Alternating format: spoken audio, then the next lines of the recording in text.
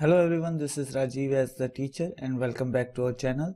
And today we are going to make this crawling spider in PowerPoint 2016. And before I tell you about this animation, let me show you one more thing. The inspiration of this animation is from one of the CodePen.io website animation created by Mrs. Lisinski. That is a very difficult name to call for me. And uh, let me show you something because I don't want to you to just learn that how this animation has been made. Instead, I want you to learn the procedure of identifying animations when you saw them.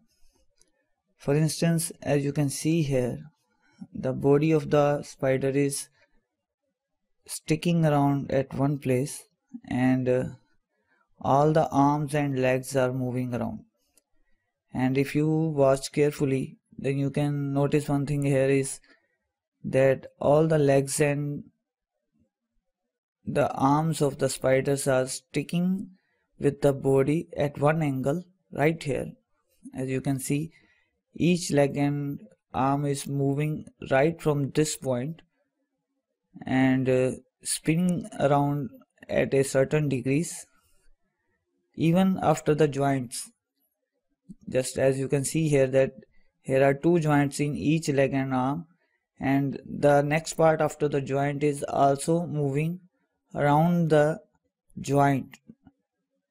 So that is what you have to uh, look carefully when you saw some animation and then you can decide that which animation you can use in PowerPoint to create this effect.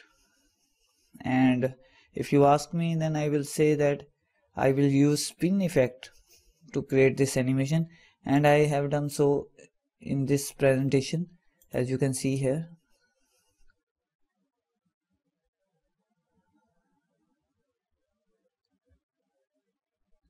So how I made this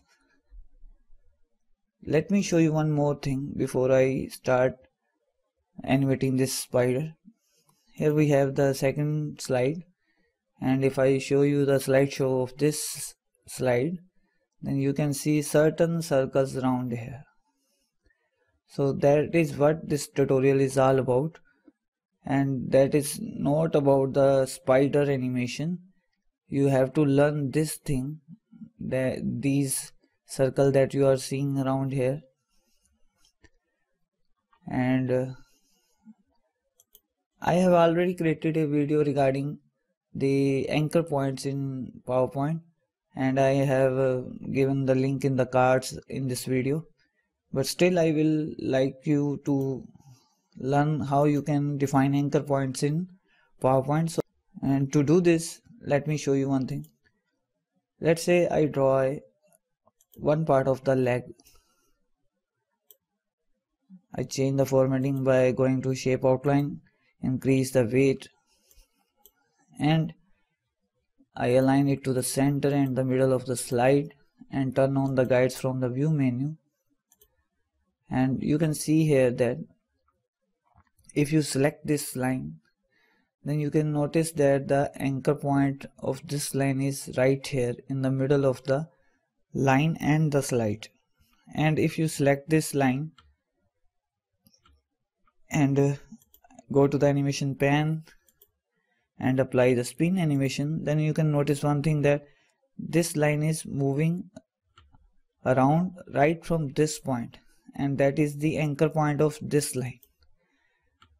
Let's say I draw another shape and this time I use a rectangle and in rectangle you can easily identify that the anchor point of this rectangle will be right here. And if I rotate this rectangle you can notice that it is rotating right from the middle point. In PowerPoint you can't see the anchor points or nor you can define your own anchor points. So if you want to rotate this line let's say not from the middle instead from the right or left corner then it is not possible in PowerPoint unless you use a trick to define your own anchor point. And to do this what you have to do is insert an any another shape. Let's say I draw a circle here and uh, decrease the size. Hold down the control alt and shift keys when you reduce the size that will reduce the size from all the sides simultaneously. Now select the circle and the line using the by holding the shift key and then group them together. Now you can notice one thing here that both of objects are now get combined and become a single object. And they, if I align them to the center in the middle of the slide then you can notice that the anchor point is right here now. And if I rotate this line then it will rotate like this.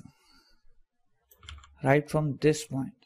And before that what was what it was doing before? Let me show you again.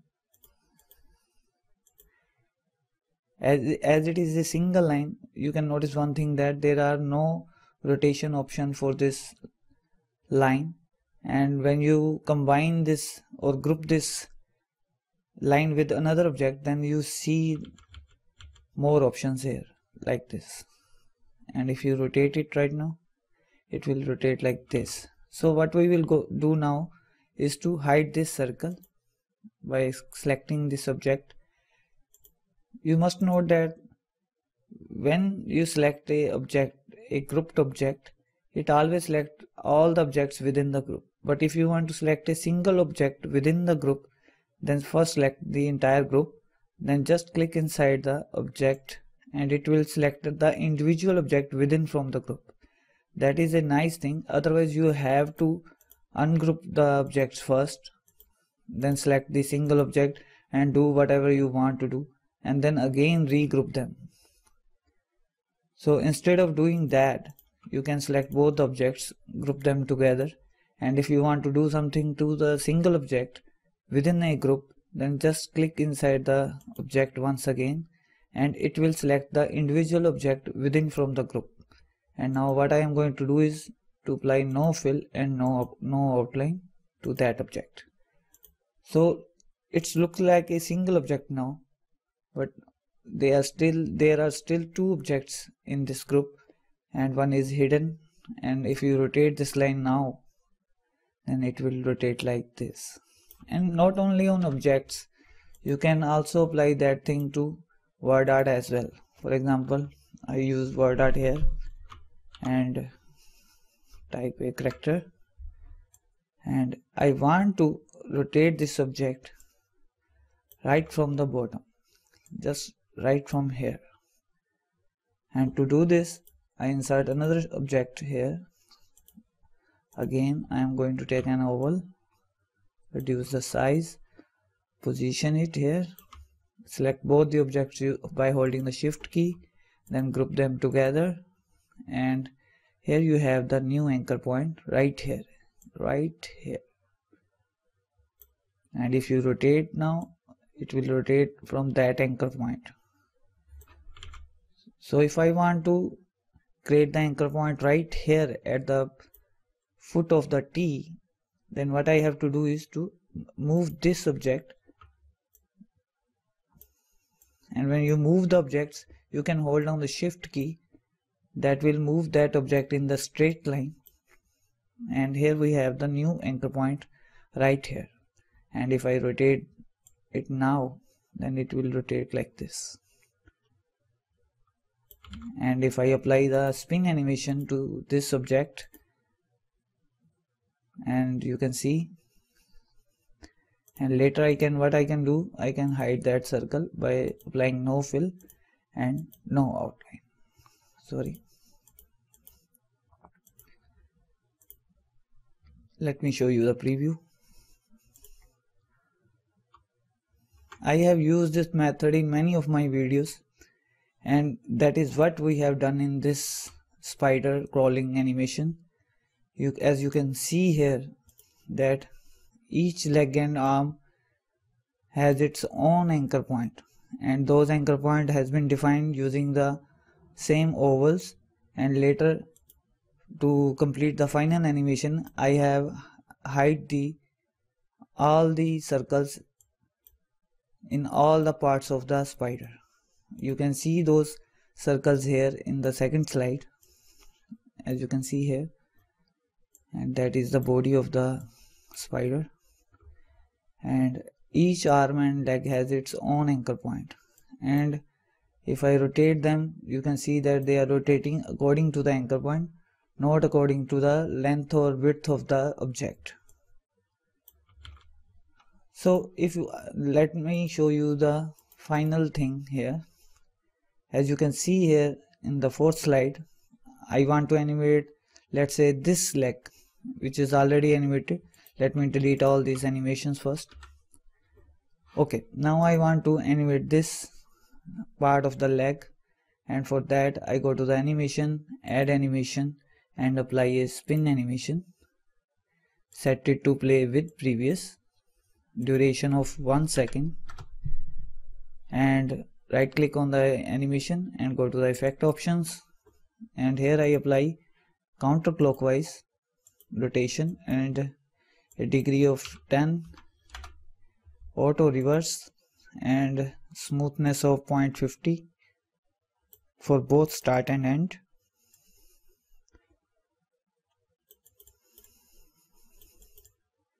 And I want to repeat this animation until end of slide.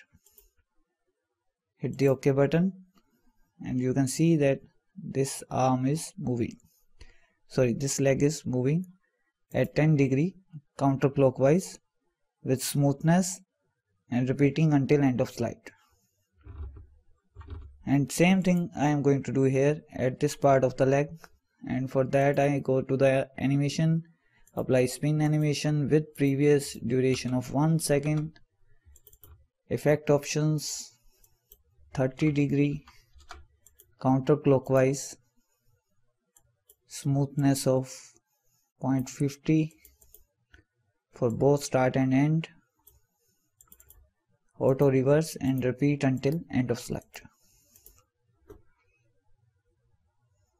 that's okay.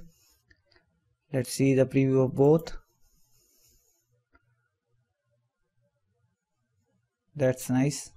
And finally for the last part animation add animation spin with previous duration of one second effect options auto reverse and for that part I am going with 55 degree counterclockwise.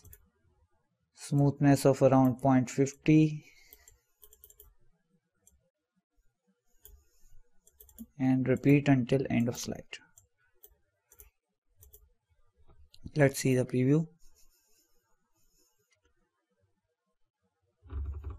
send it to back this part of the leg. I want it to behind all the other object. So I send it to back. Now let's see the preview again. It's a it that part of the leg is going a bit outside of the body. So you can adjust the anchor points or increase or decrease the length of the leg. Okay.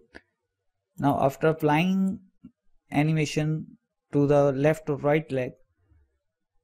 Later what you can do here is you can copy and paste one part of the leg then go to the format rotate flip horizontally and adjust it right here. And open the effect options and just change the counterclockwise to clockwise. And here you get the right leg and do this for, for the other parts of the leg. Copy paste go to the format rotate flip horizontally. Place the leg right here and send it to back and do this for the third part. Copy paste go to the format rotate flip horizontally and place it right here and send it to the back. And I did this for all the parts of the spider. And uh, and apply I applied all the animation to the one side parts. Like I first applied all the animation to the left part of the spider then duplicated them and just change the rotation from counterclockwise to clock. Let's see the preview. Okay here we need to change the rotation option. And for that I go to the effect option and change it to clockwise. And same for this one. Now let's see the preview.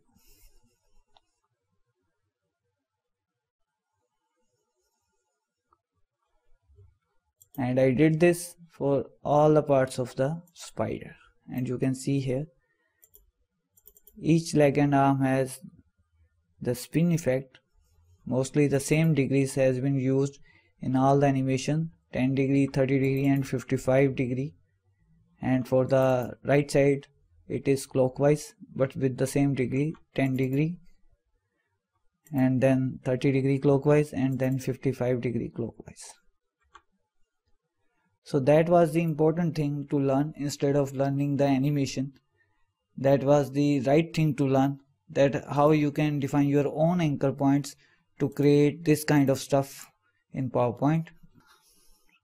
So I am including the download link of this presentation in the description of this video. You can download this presentation and can learn from that by opening the animation pan and you can notice that how I have applied all the animation and there is nothing uh, separate that I have done and then you can notice all the animation that I have used. And I, as I teach you right here that only three spin effects has been used for each part of the leg or arm. And same has been used for all the parts of the spider. And I hope you might have learned something new from thanks for watching and take care